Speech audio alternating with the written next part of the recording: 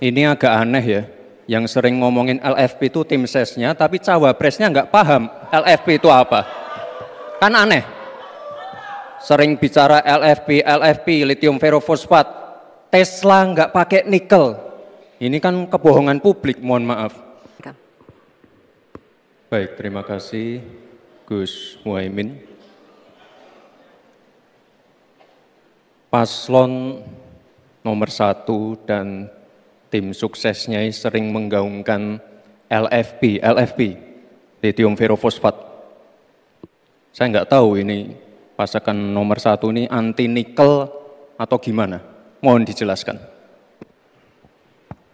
Masih Baik. ada waktu, Pak Gibran, apakah akan digunakan?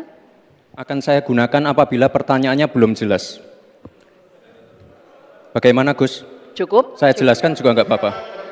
Singkatan dan terminologi mohon dijelaskan LFP lithium ferrofosfat. Tadi sudah saya sudah saya bilang kan, Apa? lithium ferrofosfat. Lithium. Itu sering digaungkan Pak Tom Lembong itu. Lithium lithium ferrofosfat. Baik. Masih ada waktu untuk menjelaskan atau cukup? Cukup? Baik.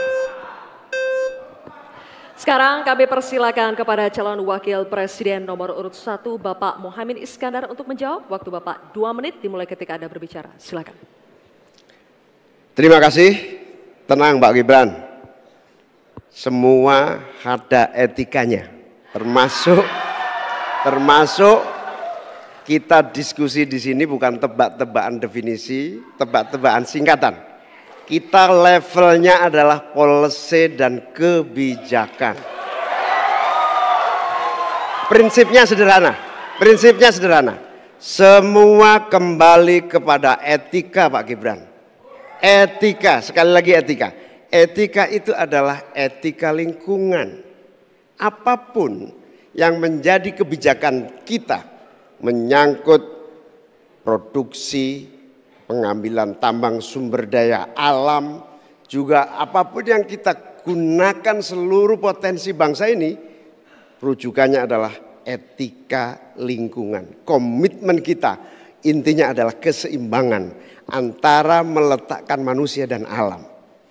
Keseimbangan ini tidak bisa ditawar-tawar agar pembangunan kita berkelanjutan, agar melibatkan semua pihak yang ada tidak ada satupun yang tertinggal. Sehingga produksi yang kita munculkan pun dari tambang, dari litium, dari apa pun. Itu tidak sembrono dan tidak sewenang-wenang. Bahkan yang lebih parah lagi tidak mempertimbangkan lingkungan dan keberlanjutan masa depan.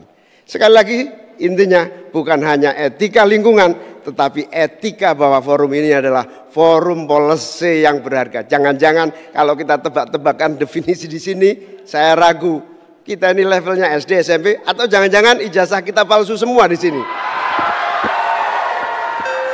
Ini yang mengagetkan. Jadi kalau tebak-tebakan, ya bukan di sini level levelnya.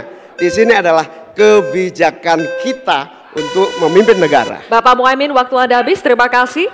Selanjutnya kami persilakan kepada calon wakil presiden nomor urut 2 Bapak Gibran Traka Buming Raka untuk menanggapi. Waktunya satu menit dimulai saat Bapak berbicara. Silakan. Ini agak aneh ya, yang sering ngomongin LFP itu tim sesnya, tapi cawapresnya nggak paham LFP itu apa. Kan aneh. Sering bicara LFP, LFP, lithium ferrofosfat, Tesla nggak pakai nikel, ini kan kebohongan publik, mohon maaf. Tesla itu pakai nikel, Pak.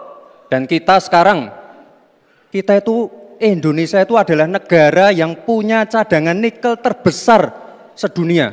Ini kekuatan kita, ini bargaining kita. Jangan malah membahas LFP. Itu sama saja mempromosikan produknya China, Pak. Saya nggak tahu ya Pak Tom Lembong dan tim sesnya sering nggak diskusi dengan cawapresnya. Masa cawapresnya nggak paham? Aneh loh. Saya jelaskan sekali lagi, lithium ferrofosfat itu adalah alternatif dari e, nikel. Intinya ada negara yang nggak mau pakai nikel. Nah, itu loh Gus yang saya maksud. Apakah Gus Muhaimin juga anti nikel? Baik, waktunya habis. Terima kasih Pak Gibran. Baik, kami lanjutkan. Mohon tenang dulu Bapak, Ibu. Cukup Bapak-Bapak. Bisa kita lanjutkan ya. Terima kasih, terima kasih, terima kasih. Sekarang kami persilakan kepada calon wakil presiden nomor urut 1 Bapak Muhammad Iskandar untuk merespon tanggapan dari Bapak Gibran Raka Buming Raka. Waktu Anda satu menit Bapak, silakan. Saya setuju bahwa potensi sumber daya alam kita harus terus kita promosikan.